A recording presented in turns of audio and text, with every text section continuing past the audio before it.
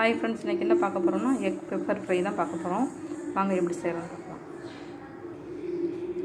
ஒரு மூணு ஸ்பூன் எண்ணெய் விட்டுக்கோங்க. எண்ணெய் காஞ்சோன்னா ரெண்டு பெரிய வெங்காயம். லைட்டாக உப்பு போட்டு நல்லா வதக்கிக்கோங்க. ஒரு ஸ்பூன் இஞ்சி பூண்டு பேஸ்ட்டு. இஞ்சி பூண்டு நல்லா வதங்கினோன்னா தக்காளி சேர்த்துக்கோங்க. ஒரு தக்காளி. கருவேப்பிலையை சேர்த்துக்கிட்டேன். ஒரு அரை டீஸ்பூன் மஞ்சத்தூள் ஒரு கால் ஸ்பூன் மிளகாய்த்தூள் ஒரு ஸ்பூன் கரம் மசாலா நான் சீரகத்தூளும் மிளகுத்தூளும் மிக்சராக அடைச்சி வச்சுருக்கேன். அதை நான் சேர்த்துக்கிறேன். நீங்கள் சீரகத்தூள் மிளகுத்தூள் தனியாக இருந்தால் சேர்த்துக்கோங்க தனித்தனியாக ஒரு ஸ்பூன் மிளகுத்தூளும் அரை ஸ்பூன் சீரகத்தூளும் சேர்த்துக்கோங்க. இப்போ கொஞ்சம் தண்ணி சேர்த்துக்குவோம். ரொம்ப தண்ணி வேணாம்.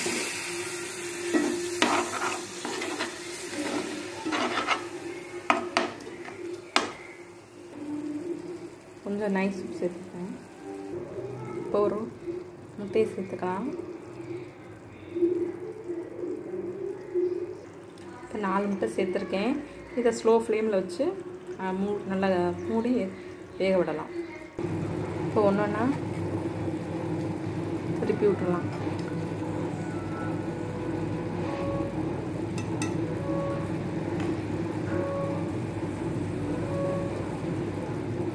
கொஞ்சம் வேகணும் அது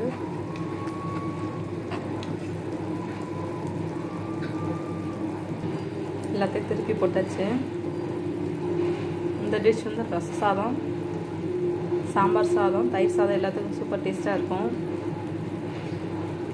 இது வந்து நான் சாதத்துக்கு பரட்டிக்க வச்சுக்கிறதுனா நீங்கள் எப்படி வச்சுக்கலாம் அந்த இதோட? இல்லைன்னா கொஞ்சம் தண்ணி நல்லா வற்றின பிறகு ட்ரையாக வச்சு சாப்பிட்லாம். நல்லா டேஸ்ட்டாக இருக்கும். மல்லி இலை தூவிக்கிறேன் கொஞ்சம்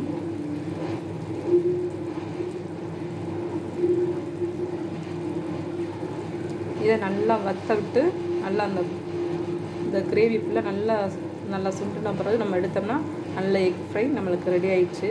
இந்த டிஷ் உங்களுக்கு பிடிச்சிருந்தா லைக் பண்ணுங்கள் ஷேர் பண்ணுங்கள் கமெண்ட் பண்ணுங்கள் பக்கத்தில் உள்ள பெல் பட்டனை ப்ரெஸ் பண்ணுங்கள் மறக்காமல் சப்ஸ்கிரைப் பண்ணிடுங்க. பாய்